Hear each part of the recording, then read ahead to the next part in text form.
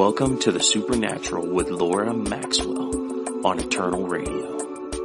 In these programs, we will hear the true supernatural accounts from those who try various spiritualities. You shall know the truth, and the truth shall make you free.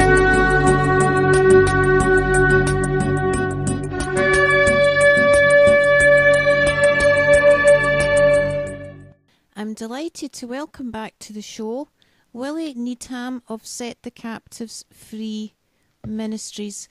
And the last time Willie was on, um, my husband actually laughed at me because I was so excited. We'd never dedicated the show to the topic of evangelism before. So when I said the word evangelism, my voice went really high pitched and it was quite funny. Um, so so let's welcome Willie back to the show. Hi Willie, how are you? I'm doing great. Uh, so excited to be here as I was last time. In fact, my, my voice gets a little bit high pitched whenever I start thinking about it. that's funny. Well, that's the two of us then. Um, so today, actually, you're going to share. I had asked you before if you could share with us um, your experience with meeting people who who are not Christian, um, particularly people who are perhaps into the New Age or the esoteric, supernatural cults and so on. And you said yes, you'd had experience of meeting these folks. So this is going to be a really good show. Um, I suppose I would start off by asking you, how would you personally define a cult group? Well, the basic definition of it is uh, any kind of man made religion that isn't uh, authentic Christianity. Uh, and that could be anything from an outright separate religion like Islam, um, or it could be, you know, or Hinduism or Buddhism. You know, those are completely separate religions, uh, but still man made. But then you also have uh, counterfeit Christian groups where they they exist under the guise of Christianity. They they claim to you know follow Jesus. They claim to believe in the Bible, but yet they are completely counterfeit. And some examples of that would be uh, like the Mormons or the Jehovah's Witnesses, and um, and really like the New Age, the New Age movement. I mean, that's that's something that kind of it, it, it's just a category of groups where uh, there are some groups that just exist independently, uh, whereas a lot of others, as you know, uh, are infiltrating the authentic Christian church in order to uh, pervert the truth. So there, there's, you know, it's it's kind of a, I know it's kind of a broad definition, but that's about as narrow as I can make it. Sure, sure. Um, and how would you personally identify, um, you know, some counterfeit Christianity groups in general? Well, the best way to identify a counterfeit is to have a thorough knowledge and understanding of of the genu of the authentic. Mm-hmm. Uh, you know, so like, you know, we understand that in true Christianity, God is one in three persons, the Trinity. You know, that Jesus Christ is the Christ. You know, he's the Messiah, he's the Son of God, and that the Bible is the sole source of of um, uh, information where we get you know get that from you know that the bible is the word of god um, you know so like to understand authentic christianity is the the biggest step into being able to identify counterfeit so if you hear somebody talking about things in a way that doesn't that doesn't line up with scripture mm-hmm. uh, or you know true Christian doctrine, then you can you can tell initially that there's something not right about it. Um, what I personally do whenever I'm evangelizing is I do what's called the three minutes to live street test, mm-hmm.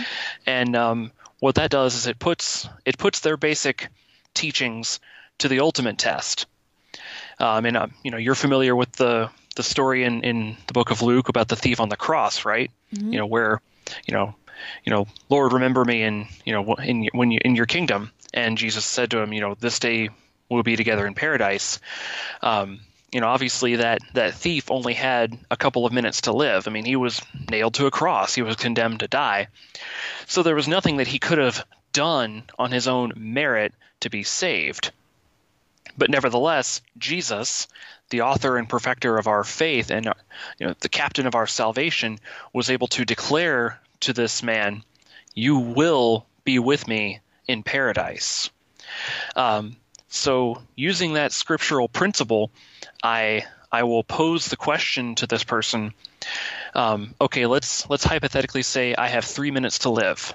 You know, there's there's a like let's say there's a knife in my back and I'm I you know there's no way that an ambulance can get to me. I'm going to die in, in a, just a couple of minutes. What must I do to get into heaven? Now, a Christian will be able to tell you that you know turn from your sins and trust in Jesus Christ as your only source of salvation. You know, like that's that's sufficient mm-hmm. with Christianity. But what happens when you find a counterfeit is that they will start telling you things that you know are not true like oh well um, uh, I guess you know I can't I can't get you baptized this quickly. Um, you know, you only have a few minutes. Uh, you know, you, you would normally have to do a you know start a Bible study, or you have to do this, you have to do that. You just don't have time. You know, or they might say, oh, you have nothing to worry about because everything leads to God, mm. you know, or the worst that can happen is you'll cease to exist. Obviously, if they say things like that, then you can be sure that they're a counterfeit. Mm-hmm. And you can find out very quickly. yeah, it, it, seems so when you when you've got those kind of questions to ask them. Mm-hmm. Um, and so can you give some examples of, of some of these groups um, that, that you have met? I mean, obviously it, it's it's awkward because we feel as if we're labeling people into groups, but it does it does genuinely help um, when we're talking to people. Yeah, they're um, based on my location. I, am uh, I do a lot of my ministry in the state of New York, um, where I'm approximately two hours away from the world headquarters of the Jehovah's Witnesses. Mm. Um, so for me, I get I, I, deal a lot with with them, where you know not only are they you know knocking on my door, uh, attempting to you know sell their Watchtower magazine subscriptions, but they also are on the street corner you know, attempting to distribute literature. So I I encounter them the most frequently uh, but I have also dealt with uh, Mormons. Mm-hmm. Um, and the most unusual group that I've dealt with uh, that you know I, w- I never expected at first was actually the Seventh Day Adventists, uh-huh. where um, you know I had kind of a Sherlock Holmes experience uh, discovering the uh, the heresy within their within their church, their organization, mm-hmm. where you know they were there were some missionaries who, interestingly enough, were knocking on my door. So I thought they were Jehovah's Witnesses, but um, they but surprisingly they never told me who they were with.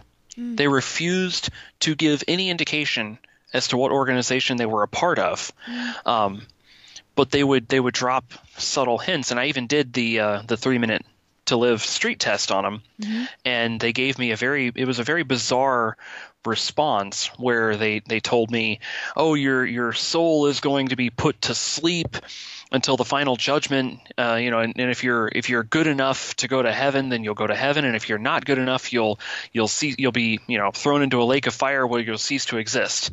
Mm. Hmm, well, that's a little odd. Yeah.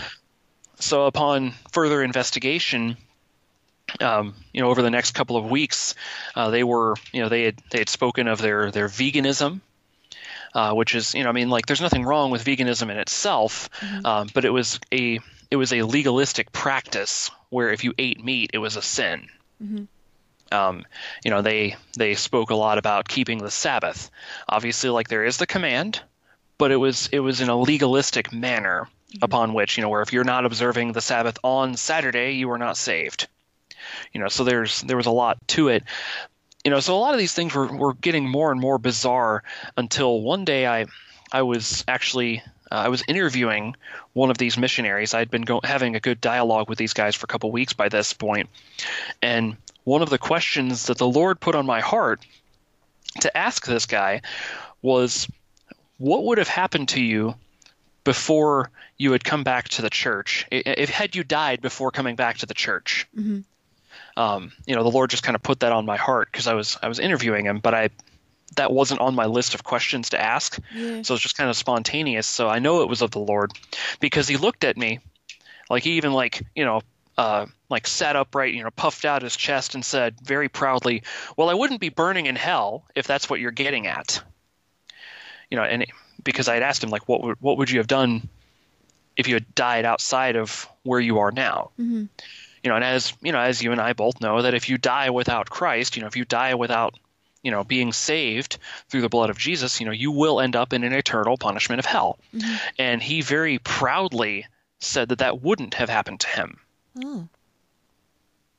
because the Seventh day Adventist Church believes that if you are deemed wicked, um, you know, not worthy of, of the kingdom of heaven, that you are that you simply cease to exist on the last day. Mm. Uh, you know, and that's that's the the teaching known as annihilationism. Okay. And um, And yet that So- would that's almost like well, you know, why did Jesus bother coming here and, and living and dying on the cross for our sins if if we just became annihilated? Um yeah, mhm. I mean, uh, you know, if you if you th- I mean, you know, if you think that all that's going to happen is you cease to exist, then you really are devaluing uh, the work of Christ on the cross.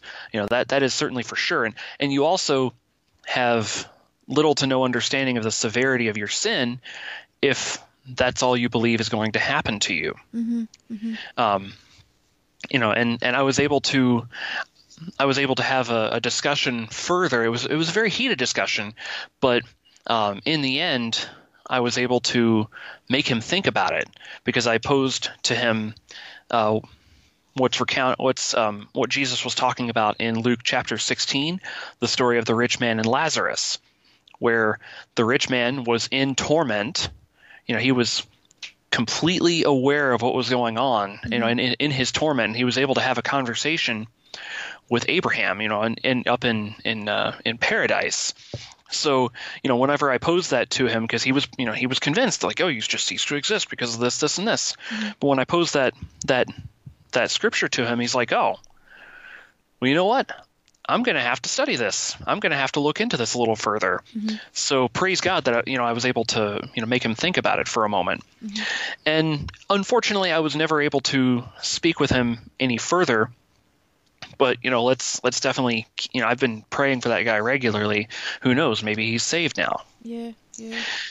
Um, but yeah, so that you know, I I, I did a, a full message on that whole experience, um, and it's on it's on my podcast. It's called the Sabbath Deception. Ah, So there's there's a lot of it's like an hour long message uh, debunking the Seventh Day Adventist Church. Um, a lot of a lot of explanation behind it. Um, now, as far as the New Agers, uh, there, I've had a an equally interesting experience that was a whole lot shorter. Uh, where I was I was preaching one day. I was I was doing the soapbox style. I was on the street corner, and um, interestingly enough, those Seventh Day Adventist missionaries were in my crowd. Um, which I just made for a very very bizarre day, and um, but yeah, I had a good sized crowd that day, and there was this lady, an older lady who was from Russia, where she just happened to be walking by. She was hearing me speak the word of God, and and she started uh, she started uh, giving me a hard time because she was convinced that everybody is God within you know, very pantheistic, um, like oh, you know, God exists inside of you. God, you know, like you are you are a manifestation of God. I'm a manifestation of God. The the box you're standing on is a manifestation of God. You know, just everything is God. Um, so you know, it was it was something I wasn't prepared to properly debate. You know, in a formal setting. But what I what I did was you know, I just I introduced myself. Um, there's actually a video of this online of how I how I handled it. Yeah. because she was very hostile at 1st Uh, you know, she she hated the fact that I was speaking with the authority of Scripture. I mean, call, you know, saying, "Oh, you're you're still living in you know a 17th century," you know. Um, but after a while, because I, I started um, giving her the Ten Commandments, you know, just sharing with her the law of God, because as it says in in uh, Galatians, the law is the tutor that brings us to Christ. You know, so it, it what it was doing, it was it was working conviction in her heart because she at the beginning of the conversation she was saying everybody's God within, which is a very common um, thing, you know, a common belief within the New Age movement. Um, you know, like you're your own God. But within a matter of 15 minutes or so, she started saying, "Oh, but I'm only human." Yeah. So, uh, you know, praise God that you know there was there was some truth being spoken to her. You know, she was kind of awakened for you know at least that moment that wait a minute, I guess I'm not God within. I am only human. You know. Hopefully, I was able to leave her with some truth. But yeah, that's very common with with the New Age uh, experience. Like you know, the New Age people I've I've uh, experienced dealing with, where they all just kind of believe in themselves being God. Yeah, yeah, and it's interesting because there is that you know that contradiction. If if we were all God, then um, we would be acting a whole lot more perfectly, you know, than we do. So Mhm. um, yeah, so so I think that when you when you start to go through the Ten Commandments with people, then they realise, and it does. Scripture is powerful, but you know, it also just makes them think um, of the contradictions in, in that other um, type of teaching. And um, has, has there been any other groups that you've met specifically, or, or, or any even that were even perhaps a little more unusual? Um, actually, uh, yeah, one one immediately comes to mind that's that's unusual. Um, it, it's um, it's the the five percenters, and um, you know, based on based on the title, you can you can probably imagine it's a very small group. Um, but they're they're actually a part of the Nation of Islam, which which like Islam itself regards as like like like uh, a cult within Islam. You know, like they don't they don't consider it to be true Islam because the Nation of Islam is like very much a political movement, but there's a lot of like like New Age spiritual stuff where the five percenters believe that that only five percent of the world population is enlightened, and that the other ninety five percent are just a bunch of devils who, you know, are just they just exist to make the five percent look better, and they have like their own their own like code language uh, where they, they speak in circles to, to sound intelligent and to confuse their uh, their opponents, and they're very violent. Um, you know, so if you ever like if you ever hear somebody speaking of the five percenters, like if they're a part of that, I would I would recommend that you you uh, not engage in any further dialogue just for safety reasons. Because you know if you're if they if they don't believe that you're a part of the five percent you know of the five percenters they believe you're a devil. And they will they will be very violent toward you. Um, i was very fortunate because like the group that i was with outnumbered this person. But still uh, he started out kind of relaxed, kind of laid back. But as we were speaking to him the word of God, he became very agitated and was cursing us and getting very loud and very hostile. And it was it was it was definitely a very dangerous situation. And he was, you know, because you know he said he was part of the five percenters, and um, but yeah, definitely very unusual situation where I just kind of had to, for the for safety reasons, I had to kind of cut the conversation short and um, you know, I had, you know, for the for the interest of safety of the rest of my group, you know, I said, all right, guys, like we really we really need to get going. Yeah. Um, you know, and it was it was scary because um, because as we were we were packing up and leaving, uh, there was a young lady in our group who you know very sweet very very kind very genuine and like she really cares about the lost so much that you know she she just wants everybody to know jesus and that's wonderful but you know, I was I had to you know I was looking out for her safety, but he was like calling singling her out. Oh, uh-huh. You know, he's like, "Hey, you, you know, you young lady, come over here." You know, mm-hmm. and I mm-hmm. said, I, I told her, you know, don't you, don't you dare, you know, like, mm-hmm. like there is, there is a, there is something really going on here that is, that is beyond, beyond what we're trained to handle.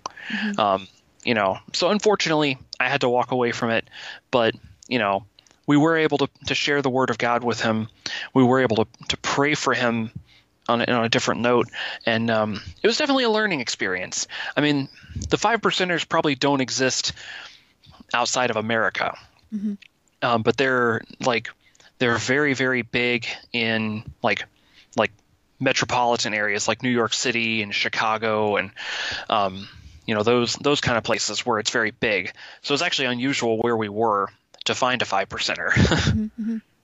And I think as well, you know, when these things happen, it's interesting because when we look back on it later, we think, well, that was that was an unusual situation, that was a bit bizarre or whatever. But um, I'm sure he's met other Christians, and, and we just don't know. You know, the, the folks can can find Jesus later on, and, and the little that we did say to them um, can be a seed that, that the Holy Spirit can water, and um, just because we don't see results then and there, and for all we know, that guy is walking with Jesus now. So, um, and it's an experience, it's a learning curve, isn't it? I'm so glad that Mhm. that lady had you. And I think that's why it's important that we do work in teams as well, isn't it? Because we're there for each other. We're there. Mhm. We're we're accountable to each other. You were her leader, so in that instance, although she maybe really wanted to go and talk to the guy a bit further, um, she took your leading, and I think that's um, I think that's why it's always good to at least go in twos, if not um, a team. hmm Absolutely. I, I always I always will tell people, you know, just you know, you know, do do your best to go out with at least one other person, mm-hmm. you know, for safety. I mean, it it even says in the you know in Ecclesiastes, you know, the cord of three strands is not quickly broken because you know if there's at least somebody else, if anything happens, there's somebody else who can help you. Mm-hmm. Um, but I also tell people, you know, that if you really have that strong of con- of a conviction to go out and share the gospel and nobody else is able to help you at the moment, go. Yeah. Make sure somebody at least knows where you are mm-hmm.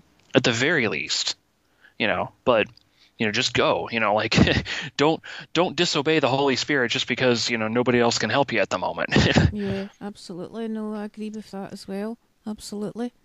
And, you know, talking about different groups and different cult groups and so on, what would you say is the the biggest attraction for people? What what would you say it is that leads people into um, these various groups? I would definitely say, you know, through uh, you know just a lot of a lot of my personal experience and and hearing about people who are who have been caught into groups like that uh, is definitely like I don't want to call it selfish ambition, but there's like it's definitely it's like a self-centeredness. Um, and I, I, I don't want to mean that in like a negative way necessarily for all of it, uh, because sometimes people just have needs. You know, like they're lonely. You know, like shut-ins. You know, so they're the elderly. They don't have any other family. You know, and these people are coming knocking on their door and you know cutting their grass. You know, they're they're ministering to their deficiencies, and it really it really draws them in. Um, you know, but there's also the the same kind of sin that that drew Adam and Eve to eat of the forbidden fruit. You know, they have a desire for you know for self improvement. You know, they have that they have that that drive to um, make themselves better than other people or make themselves better than they used to be. Where you know a lot of the new age movements, you know, they they kind of you know like I said before, they revolve around, oh, you are God within you know so there's there's a lot of that that individualistic sort of thing to where you know even you know a lot of a lot of new age will just allow you to pick and choose which religions you like or you know just kind of like lay out all the you know all the aspects of every religion in the world on a like a buffet line so to speak.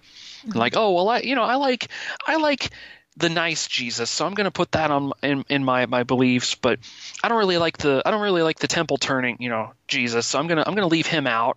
Uh, oh, I like the whole you know, all paths lead to God of of, of Hinduism. Okay, I'm going to put that, you know. So it's kind of like a like a desire to have what you want, to have things your way, and um, so yeah, those are those are definitely the the biggest attractions for these cult groups. I, suppose I can relate to that. I'm thinking about myself before I knew Jesus. Um, yeah, there was that very much. What can I get out of this? What can this particular teaching do for me? You know, whether it's health, self-help groups or whatever. On the one hand, I, I was thinking and hoping that I was trying to make myself a better person. I was trying to, you know, advance my spirituality. I was trying to improve my soul, as it were. So on the one hand, you were you were trying to be a better human being, but on the other hand, it was what is it going to do for me? What can I get out of it? Um, and I think as well, because a lot of these things do have some elements of, of truth in them, that that does attract people too, because people I think instinctively know when there's some truth there, so they will, um, you know, be drawn to it. Of course, it's not the whole truth, um, and it's not the truth of the gospel, so it is actually a deception. Um, Mhm. And I think it, it might sound like we're being cheeky saying it's a self, in a sense, a selfish um, endeavour to, to be attracted to spiritualities, but even the most altruistic person on the earth has still got some selfishness in them. We're just human. So, hmm yeah, we do. Whereas when we come to Jesus, he he can fulfill, um, you know, the different needs that that we have. Yes, but also um, it's about denying ourselves. Uh, Mhm. deny ourselves and follow Him, then we really will become a, you know, our soul will grow, if you like. So He really is the answer to, to I think all the, the the questions that people get attracted to these groups for. hmm And so, what what should you do? You know, if someone's listening, um, how would you advise them if, if someone is perhaps um, they've perhaps met someone in in such a group, maybe in the workplace, maybe a friend or relative? How would you advise them um, what to do in that situation? Well, depending on where you are, whenever whenever you you discover this, um, you know you might have the ability to have a conversation right there. Uh, but a lot of times, it's really best to set up a separate time and place to meet, Ah, because this way neither side has to be defensive. sure. Um, you know, I've I've been I've been in many situations uh, evangelizing, and I I will encounter a cult group, and you know, the first time I've ever encountered one, I was very I was very confrontational, and and they were very defensive. So really, when I walked away from it, you know, I didn't really feel very victorious or anything like that, and I know they didn't. I know they probably were very flustered afterward. So from that point on, every time I encounter somebody who's from any you know any kind of cult group, I'll have a discussion with them, you know, just very briefly. Um, when I'm out evangelizing, but I won't focus on it too much. I'll usually just exchange contact information and uh, make every effort to meet at a different time in a different place. Um, because that way it gives them a chance to get to be prepared um, and gives you a chance to be prepared.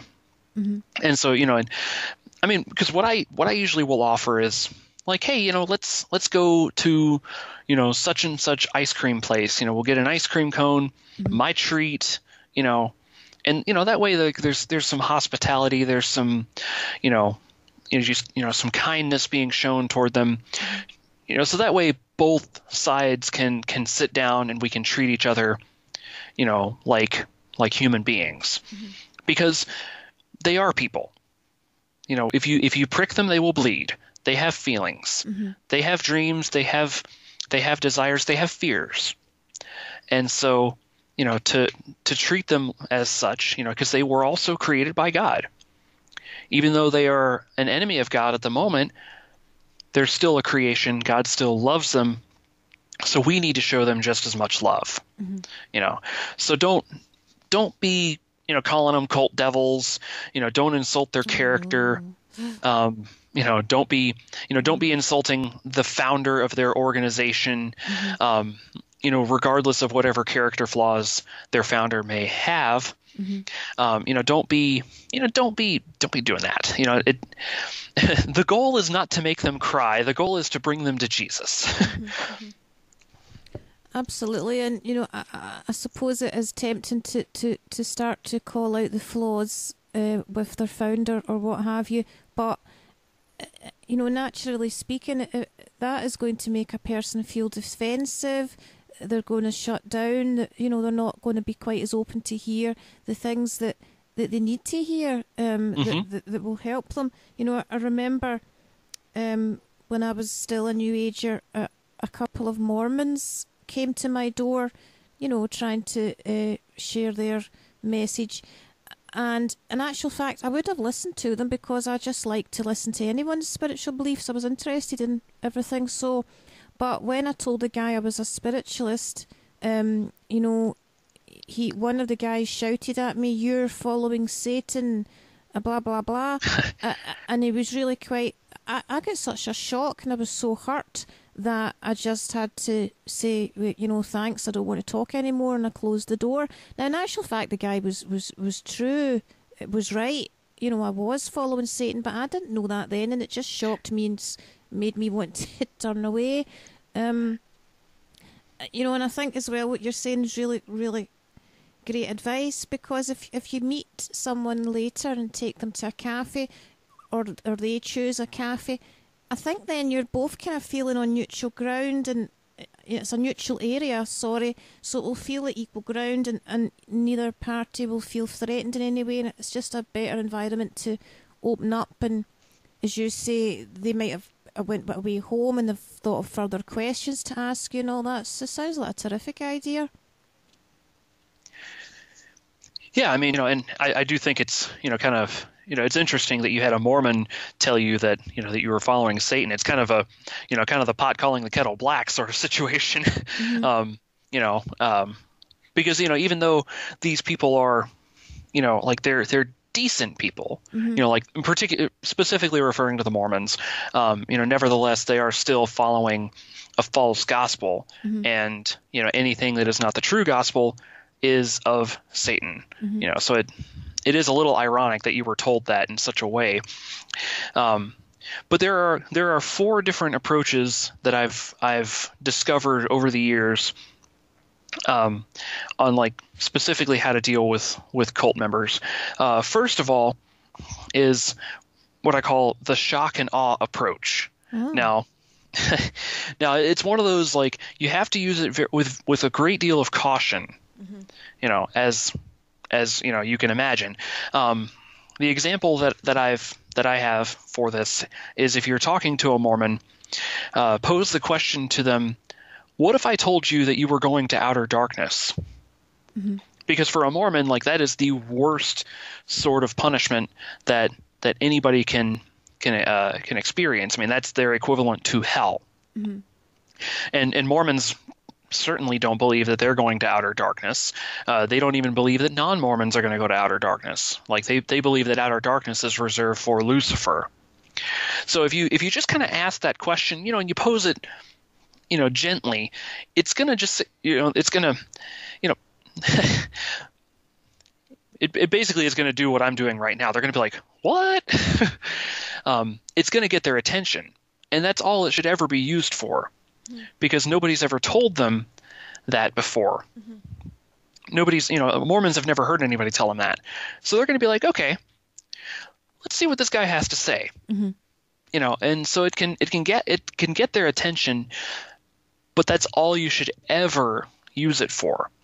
You know, and if you don't get their attention, well, then you kind of messed up. You know, so that's why I, I urge caution on that on that approach. Mm-hmm. Um, the second approach is the scriptural approach.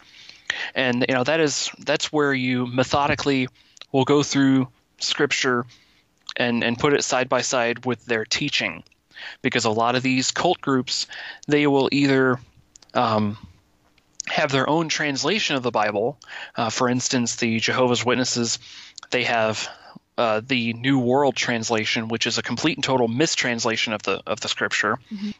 Uh, whereas the Mormons, they have the Bible plus four other sources that they they put equal to the Bible. You know, they have like the Pearl of Great Price or uh, anything that the president of the LDS Church says is like equal to Scripture. Yeah. So when you you know if you take the scriptural approach, you're taking Scripture itself, you know, in its in its purest form, and putting it side by side with their teachings and showing them how there is a contradiction between between what they're saying and what the truth actually is, and um, you know that that works for people who have a very methodical mindset.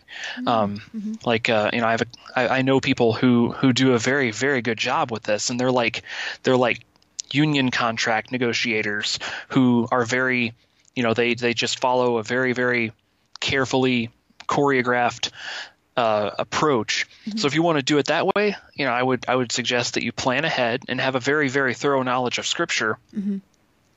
Uh, you know, once again, being able to identify a counterfeit by understanding the authentic. Um, there's the the third approach is the devotional approach, where you know you take them in as a friend. You know you you know you show them a great deal of kindness. You share your testimony with them. You know, you, you show them, and don't just tell them about what Jesus has done in your lives. Show them what Jesus has done in, in your life, and show them what Jesus can do in their life. You know, that's that's what you know. That's what I call the devotional approach, where you know you just kind of a life on life friendship sort of thing, and that's something that anybody who has a testimony can do. Um, now, my personal favorite approach, it's the fourth one, is known uh, is called the historical approach. Um, and it's probably the easiest uh, if you have basic understanding of how some of the the larger cult groups were founded, such as you know the Mormon Church being founded by Joseph Smith, or the Jehovah's Witnesses being founded by Charles Russell, Yeah. Seventh Day Adventist Church being by Ellen White. If you have any understanding of how these these groups were founded, um, those three groups actually have one major thing in common, uh, and it's actually f- uh, failed prophetic predictions. Ah. Um, I mean, the Jehovah's Witnesses are obviously the most famous for that. Um, you know, by claiming that Jesus was going to physically return in 1914, and then in 1915 they said, "Oh, we never said that. He, we said that he was going to return invisibly and only to uh, the leadership of the Watchtower." You know, so that's that's a failed prophetic prediction. Yeah. Um, and what for the for the Mormons, interestingly enough, not a lot of people know about this, but Joseph Smith, you know, who was uh, regarded as a prophet in the Mormon Church, had made a prediction that there would be a Mormon temple built in Independence, Missouri, before the end of their generation. You know, so meaning when Joseph Smith and everybody else who helped found the church died, like that was it. And sure enough, like that whole generation passed away, and even to this day, there is no such temple. It never got built. Mm-hmm. So, you know, he claimed to have made a, a prophetic prediction, you know, based on like what God told him, you know, mm-hmm. like so what he claimed God told him, and it never happened. Yeah. And then for the Seventh day Adventists, once again, not a lot of people really know about it, but I, I discovered this upon uh, reading one of their books. Uh, it's called The Great Controversy. And um, there was a man named William Miller back in uh, the early 1800s who had predicted that um, that Jesus was going to return in spring of 1843 you know, based on some mathematic calculations that he tried to make. Um, so spring came, spring went, Jesus didn't come back. And then he said, Oh, uh, I made a miscalculation. It's actually going to be the fall of 1843. Well, fall came, fall went. Oh, um, yeah, actually, the fall of, or the, the spring of 1844. You know, and then he did that for the fall of 1844. And so that whole uh, time frame in the Seventh Day Adventist Church is actually known as the Great Disappointment. And um, it is actually it's not it's not hidden. It's actually celebrated Yeah. within the Seventh Day Adventist Church. um, which uh, honestly I think is a little a little bizarre, but you know, okay. um, and so, keeping those three groups in mind uh, because they're the biggest ones.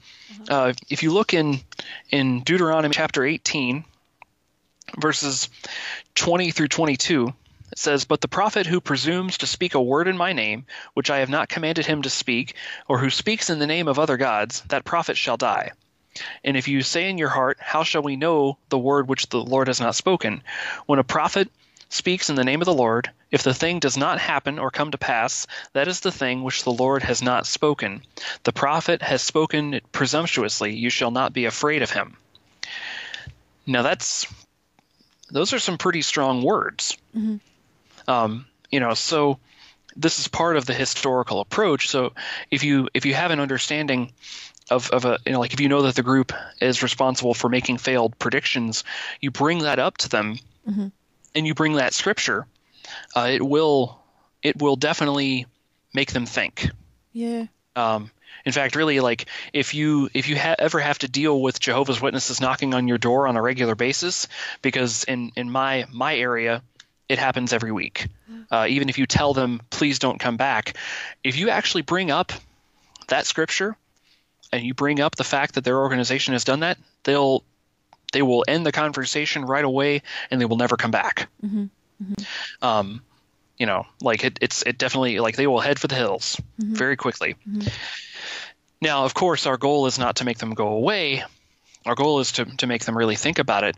But the fact is, is that these groups also have one thing in common that because they're man made, they're man um, or like they're man merited you know meaning like you have to earn your own salvation mm-hmm. so if if they're confronted with the fact that that you know their their leaders are responsible for failing mm-hmm. um, you know it really it really it makes them think very hard and it it, it will even you know kind of freak them out a little bit mm-hmm. and um, you know, hopefully, hopefully it's enough to make them want to leave to leave that cult, you know, and uh, and hopefully, better yet, um, come to repentance and salvation in Jesus Christ. Yeah. Yeah, it's really it's really interesting that you know uh, those four different approaches that you mentioned because I think sometimes um, when when Christians are, are doing evangelism, you know, they'll maybe just assume, well, all I have to do is quote a scripture, and because scripture is truth, they'll definitely receive it and get saved. Or all I have to do is, you know, blah blah blah. But but no, because each person is unique anyway, and certainly if they're, if they're part of a certain group, there will be certain things that will work and certain things that won't. Um, and everybody's unique and, and different approaches um, can touch them when others perhaps won't. Um, so, see the, these um, approaches. Do you have these listed on your blog? I'm actually in the process of um, of getting it all organized.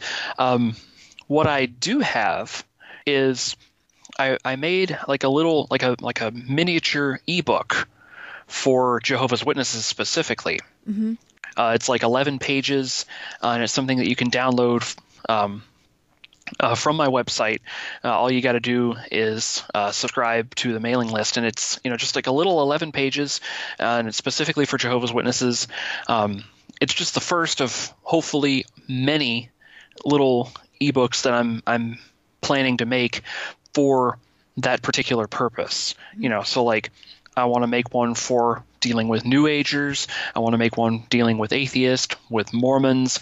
Um, you know, so on and so forth, mm-hmm. uh, to equip people yeah. because it can be very intimidating dealing with somebody who is a part of a cult because these cults, um, you know, they they tend to be very aggressive in their um, you know getting their message out there i don't want to call it evangelism because you uh-huh. know like uh-huh. evangelism is for the gospel yeah. you know but i guess proselytization would be the would be the more accurate term mm-hmm. for what they're doing but they're they're very aggressive in getting their message out, mm-hmm. and they're very aggressive in training their members on how to deal with Christians. Yeah.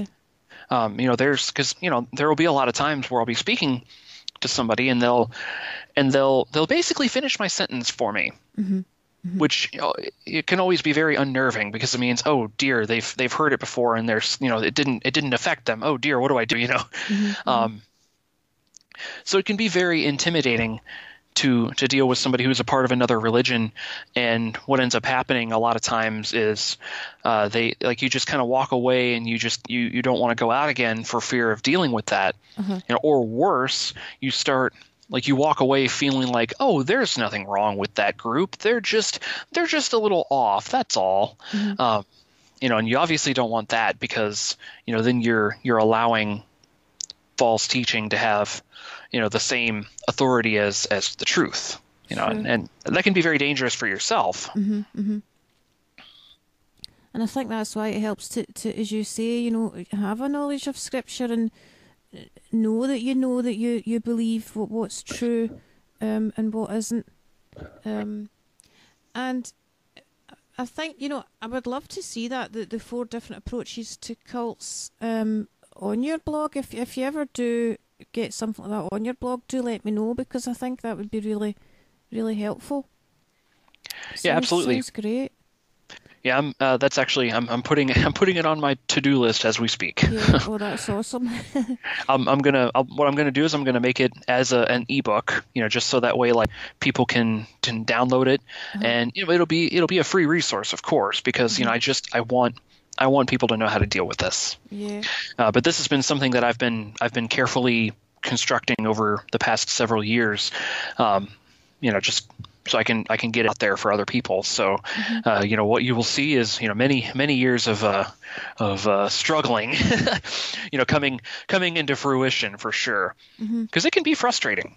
Absolutely. And that, I mean, I think that's going to be a terrific resource for people, especially for someone like yourself who has spent many years in evangelism. It's just, um, I think that will be a gem of, of, of insight and help for, for people.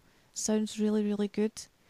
Um, and if there's someone listening and they have a loved one in, in some kind of a cult or some kind of a group, how would you advise that person who's who's listening today?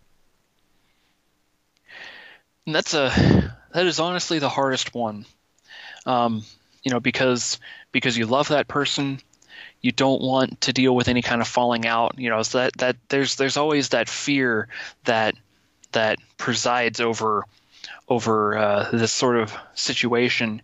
Uh, you know, naturally, people are going to want to like protect them, you know, and, and their beliefs because you you don't want them to to hate you, but you know jesus very clearly said you know that if anyone does if anyone doesn't hate their father and mother they're not worthy of me.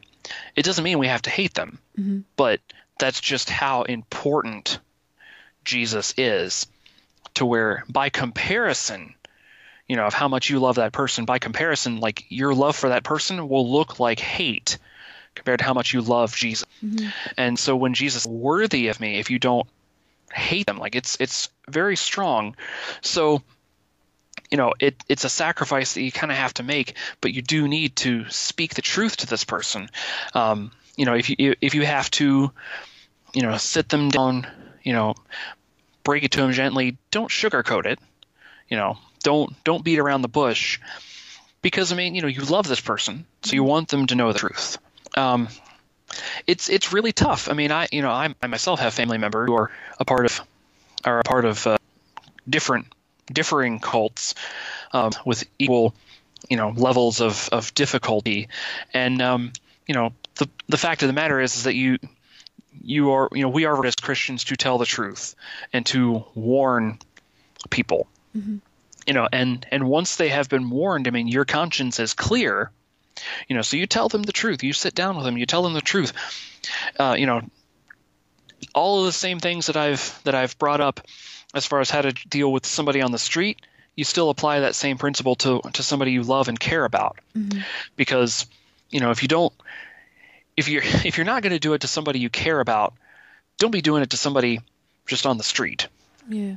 you know i mean that you know just a matter of you know you know treating everybody you know like they're human um, but yeah i mean but the, the fact is is that you know we are required to to tell the truth you know tell them the truth warn them and you know you you put it in their you know in their hands as the rest you know like you you give it to them as their res- make it their responsibility. Um, never stop loving them. Never stop praying for them. Um, you know, shower them with kindness, of course. Um, you know, I mean, you you need to give them more kindness than you would a complete and total stranger, because at least a stranger you're never going to see again. Um, you know, so if it's somebody in your house, I mean, you know, do nice things for them, like yeah, just you know, do their laundry for them every once in a while, you know, or just you know, pick up a treat at the store. You know, show them that you genuinely care about them, and that you're not just trying to be right Yeah. um, you know they may still uh, hate you. They may not want to ever talk to you again. I mean uh, in fact really i mean a lot of these cult groups i mean they have very severe consequences for leaving. I mean jehovah's witnesses um, they don't they don't even want you associating with non-members. Yeah.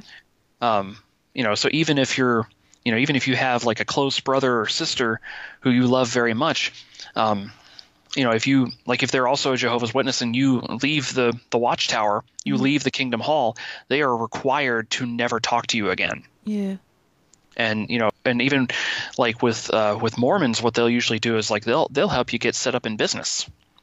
You know so you can become very wealthy you can get a house and you know have a big family and stuff but if you ever leave they will tell all of their their mm-hmm. people mm-hmm. to boycott you so it's it's not easy. You know the consequences that they're facing are something that they're very afraid of. Yeah. but you know you just you just got to remember which is worse. Um, you know a little bit of tribulation here on earth for you know what maybe a couple of months maybe a couple of years even many years. But you know is that really worse than eternity burning in hell? Yeah. You know so their salvation matters a whole lot more than their comfort. So as as hard as it is you should definitely speak to them about it. You know don't put it off because you know for the same reason you shouldn't put off evangelism you know um, because you don't know how much longer you have. And you know you you will regret it if you don't talk to them and anything happens to them or anything happens to you uh, where you're not able to talk to them. And so i mean there have been you know there have been you know family members who you know i've i've shared the truth with them and you know they they wrote me a letter saying leave me alone. Hmm. You know don't you know don't talk to me about this again. Mm-hmm. Um it doesn't mean that i don't get to talk to them ever but you know like basically this this person in my family just kind of said like you know i still love you brother but stay out of that part of my life mm-hmm. Mm-hmm. You know which it, it hurt me dearly because I, I care about this person you know very much. But you know i i shared the truth mm-hmm. and and and they they know now. Mm-hmm. Mm-hmm. And then sometimes, you know, I've heard of that before, and sometimes maybe they- they'll never ask again, but but but sometimes in the future, um, these folks they will want to ask a question, and they'll remember that you were the one that shared the truth with them. So, um, you know, they back to you and ask to open up that that type of conversation again. So, um, yeah, as you say, it is important to to tell them. Um, and what would you say? What's the best thing to do for anyone who has left one of these these groups or, or one of these cults? Well, first of all, dance for joy, praising God, um, you know, because it's it's beautiful to to hear about uh, people having been set free, because it does happen. You know, nobody nobody is unsavable. You know, nobody nobody is uh, beyond uh, you know uh, being liberated. So, um, you know, but really, it's it's extremely important to you know make sure that they are they are taken care of because like i said before um, you know depending on how severe of a situation they were in you know they might be out of a job they might be out of a home you know they might have lost all of their friends you know they might have family members who have completely excommunicated them mm-hmm. so it's it's a very dangerous time for them mm-hmm. and they're very vulnerable And some of them might even get death threats. You know that is Yeah. a real a real possibility. Absolutely. Um, you know, especially yeah, with, with certain certain other religions where they will, you know, they will, you know, like they're required even, you know, like like Islam. If you leave Islam, they're required to kill you. Mm-hmm, You know, so like if they know that you're an apostate from from their religion, they like they'll hunt you down. Yeah, You know, it's really scary. yeah, So, um, depending on where they're coming out of, you should do your best to protect them, you know, in their safety. Um, you know, make sure that they are, you know, like that their deficiencies are are ministered to, because you know they need that community, they need that fellowship, because they're going to feel very alone Yeah.